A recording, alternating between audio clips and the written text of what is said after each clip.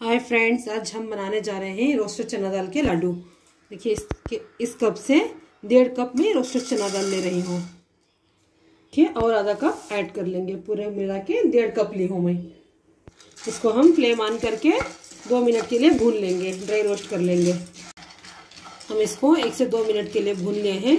बस इसको हल्का गर्म करना है, क्योंकि नरम रहते हैं ना, इस तरह से रोस्ट करने से कड़क हो जाएँगे, इसलिए। अब ये रोस्ट हो गए हैं, दो मिनट के लिए अब इसको निकाल लेंगे। इसको साइड में रख लेंगे। अभी इसी पैन में जो कप में ये रोस्टेड चना लिए थे ना, उसी कप से एक कप गुड़ पाउडर करके ली हूँ मैं इसको ऐड कर देंगे। इसको ऐड करने के बाद उसी कप से आधा कप पानी ऐड कर रही हूँ मैं।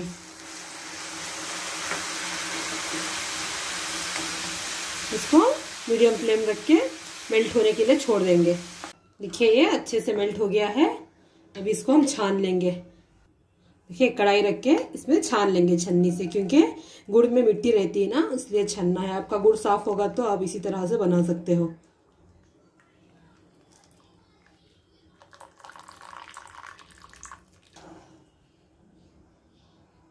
अभी हाई फ्लेम रख के इसको पकाते जाएँगे।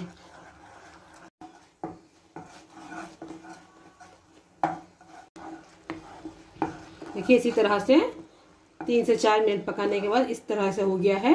इसको और दो मिनट पका लेंगे। देखिए इसको चेक कर लेंगे हम एक बाउल में, थोड़ा पानी लेके इसको बस एक से दो ड्रॉप डाल के देखेंगे। देखिए बॉल बन रहा है नहीं करके अभी बॉल नहीं बन रहा है और दो मिनट पकाना है इसको। देखिए इस स्टेज पे हम थोड़ा और डाल के देखेंगे पानी में।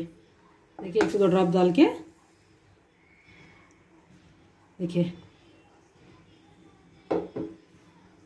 ठंडा होने के बाद ये अच्छे से टूटना है। अभी आ गया है ये पाक। है इसमें हम ये रोस्टेड किए हुए रोस्टेड चना को ऐड कर लेंगे। वो ऐड करने के बाद इसमें एक टीस्पून घी ऐड कर देंगे। ऐड करके ये दोनों चीज़ों को अच्छे से मिक्स कर देंगे। देखिए, इसको अच्छे से मिक्स कर देंगे। फ्लेम बंद कर चुकी हूँ मैं। अभी इसको एक हम प्लेट में डाल लेंगे। देखिए, इसको एक प्लेट में डाल देंगे। आप चाहे तो इसकी बर्फ़ी जमा के बर्फ़ी भी कट कर सकते हो, नहीं तो छोटे छोटे लाडू भी बना सकते हो। ये हल्का गर्म रहते ही हम इसका थोड़ा थोड़ा लेके इस तरह से देखिए, कर लीजिए इस तरह से, फिर इसको थोड़ा थोड़े छोटे छोटे लड्डू बना लेंगे हम। देखिए, इस तरह के छोटे छोटे आप चाहे तो बड़े भी बना सकते हो। देखिए इतना इतना सा आपकी मर्ज़ी, आप छोटे बनाना सकते हो, बड़े बना सकते हो, जैसा आप बनाना चाहते हो, उस तरह से बना सकते हो, देखिए। जब भी बनाएँगे, थोड़ा हल्का पानी में डिप कर लीजिए हाथ को। देखिए, जितने भी इसी तरह से सारे हम बना लेंगे इस तरह से। देखिए, मैं सारे इस तरह से बना के रख ली हूँ, इतने से इसके बॉल्स इसको सर्व कर लेंगे। देखिए, बच्चे बहुत शौक से खाएँगे, अब भी ज़रूर बना के दीजिए। बहुत हेल्दी रेसिपी है।